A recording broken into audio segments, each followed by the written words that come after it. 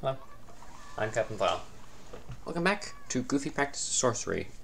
Mm, excuse me, I'm sorry. Drinking root beer right now. That's my beverage.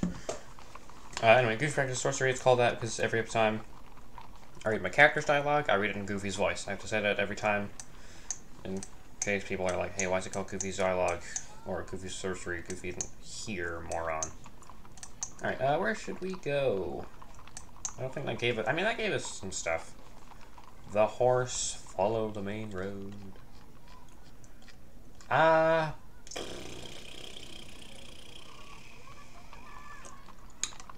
Alright.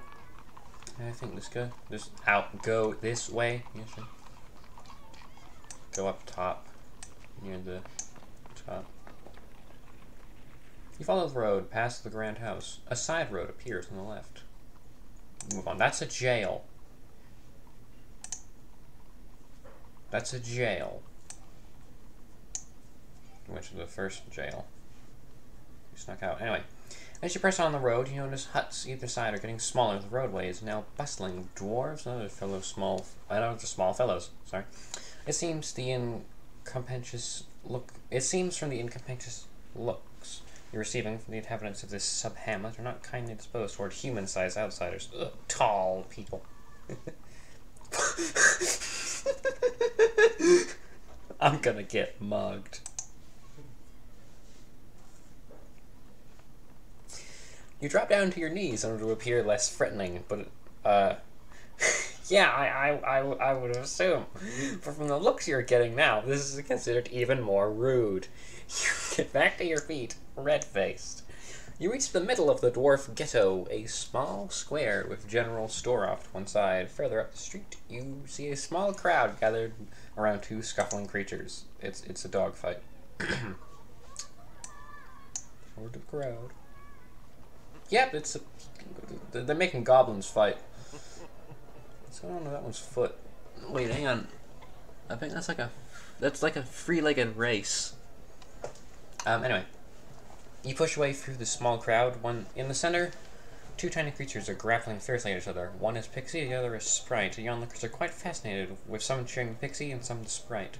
Guess that's the Pixie since the wings. Anyway, uh, you appear you appear to have just got the end of the fight. The Sprite looks almost exhausted.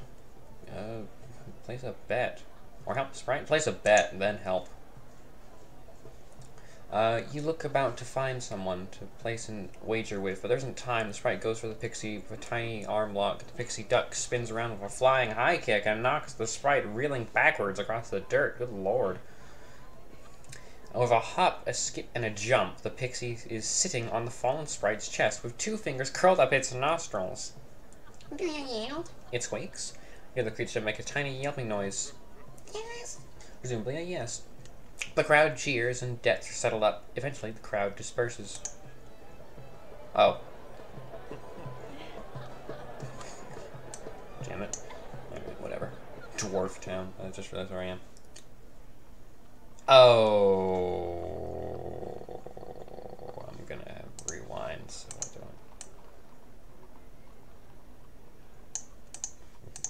don't. Apparently word of my shenanigans have spread.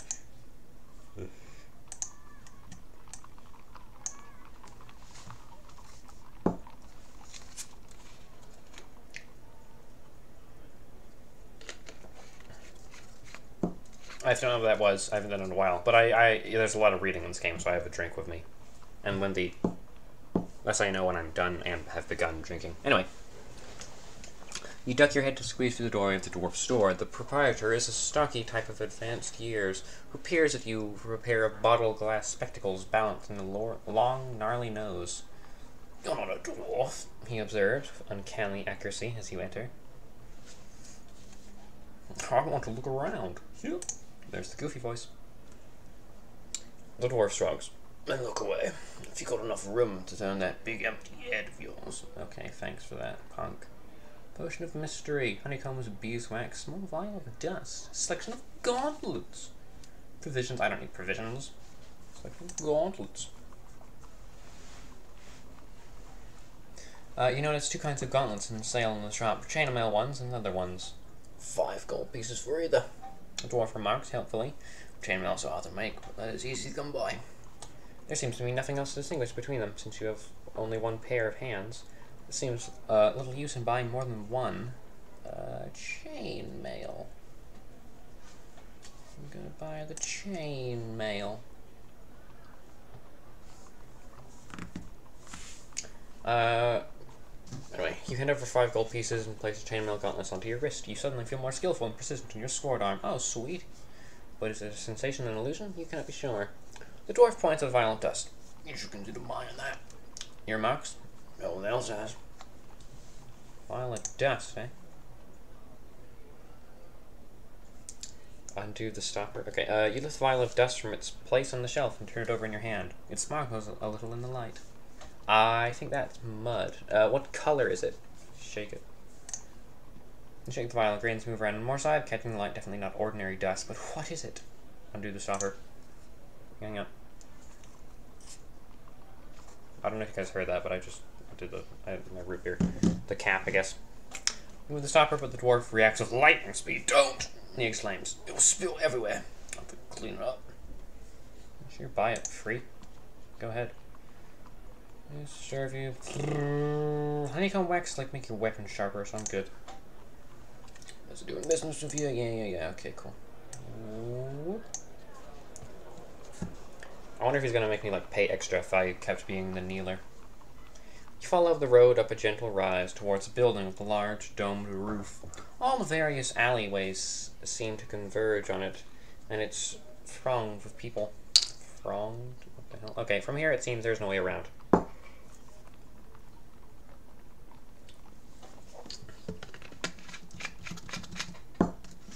Continue. Getting a drink. Anyway, where's the building? The road becomes narrower as the slum dwellings the other side become more built up. Finally, it opens to a small plaza at the side of a large dome-shaped building, some kind of sprawling covered market. Looking left and right, you see several other roads entering the building through different archways. A small group of serpent heads are just passing by. Uh, talk to them. Uh, uh, you stop one. Greetings, you begin. What is this place? The serpent head looks towards you, unimpressed. It's the artists, Carter. They have half a roof over them, or their paint runs, and they complain. Nothing worse than a complaining artist. The second creature, remarks the second creature. Gorse Sounds worthless. You reply. One of the head serpents, a female, makes a harming noise, making fun of my son's making fun of my son's lisp, would you? Whoops! it, it seems we're annoying every species this episode. Uh, she asks with one hooked fin, slaps you in the head. The rest of the group turn up their nostrils and march inside. Oops. Go around the market, uh, go in the market, let's buy it, see if there's anything of value here. Market has a maze of alleys. Every inch of its space is being used for trade, with shops, stalls, and piles of goods set out on crates and barrels. Hawkers bellow their wares, trying to shut, shout down the next. People are in all manner of strange creatures mill about, quite lost, but very few seem to be actually buying anything. Very few, mm, excuse me, seem to, excuse me, sorry, root beer, actually buying anything. If you're wondering what brand, it's uh, A&W. I prefer Barq's, but was, you can only buy A&W. Goddamn monopoly, I say. Barq's reign supreme in restaurants, however. Every time you order root beer or go to a like McDonald's and get a fountain soda, there's Barq's. It's the best. Anyway, enough about root beer politics. You lose yourself browsing the stands. Most car most sell carpets, but some also offer incense burners, lanterns, and pottery. I could use a lantern, honestly. Can't see buy any uh, blacksmith food stalls. Or Any other? Nope. Okay. You move on the market, elbowing your way between shoppers and hawkers to stand below an enormous glass dome. Through the hubbub of passers-by, you spot the exit across the hall. Noise rolls like thunder across the roof of the market. Uh, on the market. I want to go into a store. Burning. Fire burning. Fire Master. That's an interesting title. Fire Master's face is a patchwork of scars and scabs. He smiles a ghastly smile. Doesn't seem like he's very good at his job if he has injuries related to like fire, since you're meant to be a master of fire, buddy. Uh, Hello there. Groans. I hope you're interested in fires. white, green, and blue fire. Ooh, I want a green fire. Excuse me. Uh, by side in a row, like uh, flowers in a window box. They are quite beautiful and most hypnotic in the way they move. Yeah, fire's awesome. I love fire. Uh, of course, what are they for? Yep. Different things. He replies. Maybe for relaxing, maybe for making the ladies fall in love. What? How does fire do that? Unless you, like, burn your competition alive. Some's for cooking. Others are for warm. I don't sell too many of those. My favorite, though, is inside. He glances menacingly at the door. Show me. He gestures you inside. Be my guest. In center of Firemaster's hut, a fierce fire is blazing away, threatening to engulf the entire room, but the flame is giving off remarkably little heat. You're not even breaking sweat standing close to it. Go closer. Uh, you take a few steps closer from here. Notice at the very uh, heart of the fire, there is a wooden chest. The fire reminds you of the one in the great grate of the large abandoned house you explored earlier. Look at the chest. The chest is closed. You cannot see what's inside, it's clearly not burning, despite the made being made of wood. Uh, cast a spell.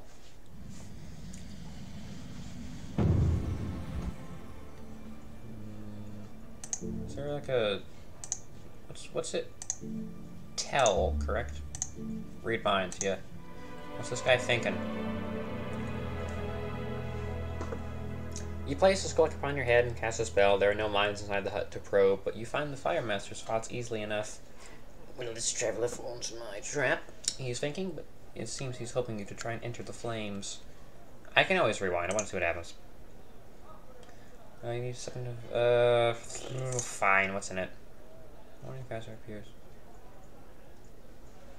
Go for the chest. I want to see what happens. Okay, lost health.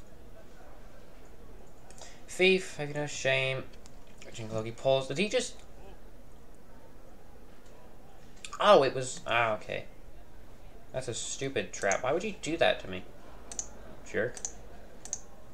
Okay, so don't touch it. Sit back, collecting the congregation, uh, configuration to erupt into swelling heat at any moment, but it does not. It burns steadily and unchangingly as if requiring no fuel at all. It's definitely a magical flame. Closer look. Uh, leave. Very impressive. Yeah. Uh, what's about has my fur in the abandoned house? Okay, right, Mr. Nods, I'm hoping to play with plus doors. I visited a house here in Kharé where a fire burned and a hearth without heat. One of yours? Perhaps. I'm not the only fire master in Kharé. I am the best. Grand house, was it? Yes. Ah. House of Lord Tita, I imagine. You trespassed there if you went in. He went blind, you know. Search for a seventh noble of Kharé. He lives a beggar now. Uh, ask about Northgate, since he seems to know some stuff about. Tell me something. Yeah. I need you to. I need to pass through the North Gate. Can you help? The Firemaster shrugs. Not many you do. None have I've heard of. I know about the spell, or I need to find the nobles. Yeah. I need to find the nobles, you tell them. Gosh, maybe I can convince them to let me through. Yep. The nobles. The nobles are all but disabandoned. There's no council anymore. There's an empty building and some guards. Of course. Yep. What happened to them? No one knows how it started. There's those who say some of them tried to kill Sinas, the first noble. Others say he ju- just thought they were trying. But now they're gone. Hidden. I told you, Blind Cheetah, for instance. Is there no? Ah, sorry. Is there no other way to find the spell lines? Yep. Probably. Our is full of gods. That's the god of malice. The little priest near. That's the other one. The fat one. Uh, the god of, uh, whatever he's god of. Uh, you have much a chance of getting something from powers that begin a noble to talk.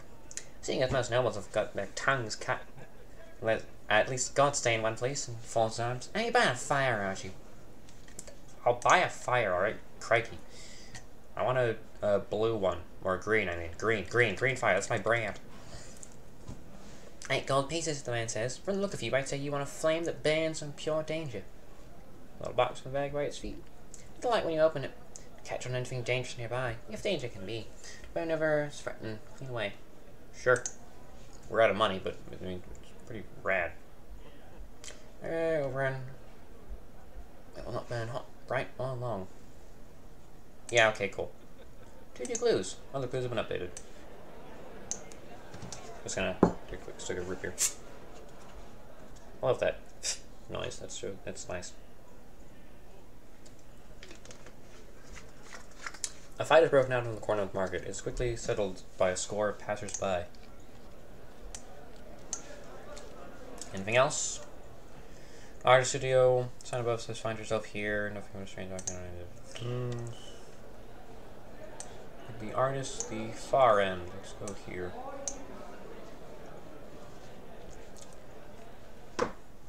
You walk to the furthest end of the market. On your left, a man grabs your sleeve. You want to buy a carpet? He, asks. The finest carpet is Backlands, made from real moth. What? Shake off a man's grip. Oh. No, I want. I want to see what he has. Maybe they're magic carpets. They can fly. Endless uh, carpet shop. Very good carpet, the man shows you. How large you want? Size of bed, size of room, size of house garden. I'll give you the same price. Drags the carpet show you. Uh, cast a spell.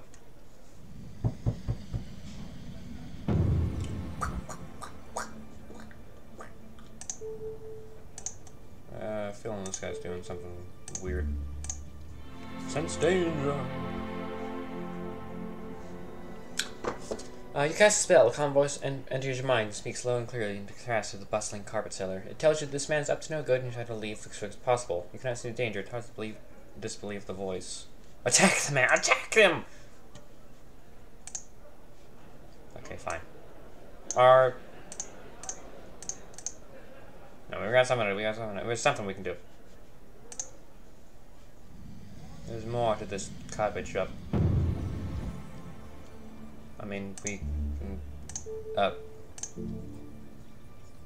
what the hell would we need Yob for? Yeah. Tell? Yeah, sure. Good minds. Alright. You step on the cloth, cloth cap, uh, he's thinking about pile of carpets. Building up by the door, if he shows you a few more, you'll be trapped. Uh, okay. So it's a trap shop. Or the shop is a trap.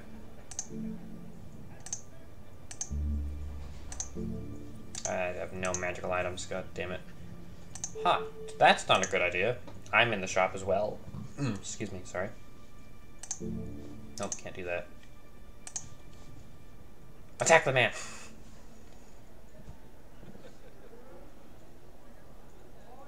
Okay, I'm leaving. Actually, well, we're done. Let's get out of the hell out of here. Alright. Well, that is the Arcus Artist's Quarter. Let's get the hell out of it. Got some... Wait, what? You turn around... That's a spell. Uh, why can't I get out of the Artist's Quarter? It's right there. How? Uh, HUD? Dud? Oh, that's Dud. I wanted how. How? Safe passage. Let's get the hell out of here. Leave the market. Excuse me. Do you find daylight? There, outside the market. Finally. End the episode. Okay, sweet. Drink your water. Alright. Sorry for kind of the abrupt ending. Whatever. Thank you for watching. Good file.